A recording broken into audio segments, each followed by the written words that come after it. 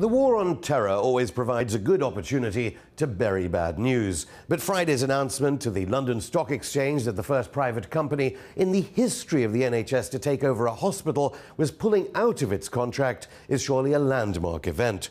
Only five months ago, the Circle Partnership, which runs Hinchingbrooke Hospital in Cambridgeshire, found the money to release this corporate video on the internet.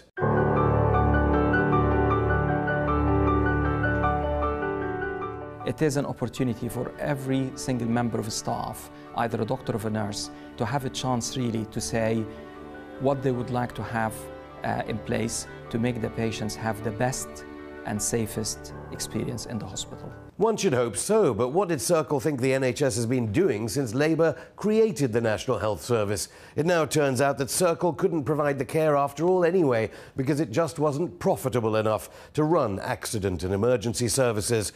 It was the Labour Party under Gordon Brown that started the privatisation of NHS hospitals after Circle beat Scandal hit private contractors Serco in the bidding for Hinchingbrooke. Ali Parsa, the CEO of Circle, said this. It doesn't really matter whether a service is delivered by the public sector, by the private sector, by charities, by mutuals. What really matters is could we deliver high value?